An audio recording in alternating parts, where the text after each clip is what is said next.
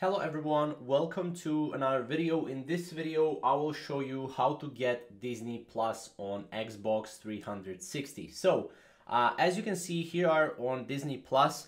Now, I wanted to show you this, right? So, how to get Disney Plus on Xbox 360. Now, to make sure, make sure that you're connected uh, to your Wi-Fi, right? You have your you have your Xbox 360 console. You're logged in, right?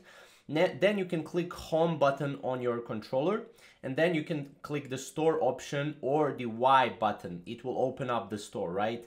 Now click on the store option or the Y button and it will open the store, right?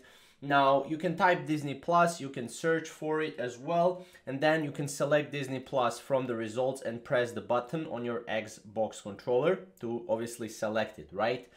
Now the Disney Plus info page will open. You can click download or press the button on your controller again. And then you download Disney Plus from your device in a matter of seconds. You launch it, right? And then make sure to log in with your credentials, right?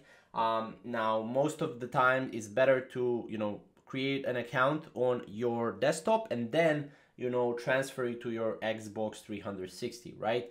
Uh, and yeah that's pretty much how to do it. A very simple to do and then you will be able to uh, log in right and see all your movies on disney uh, plus right on your xbox 360 now that's the only way to do it currently.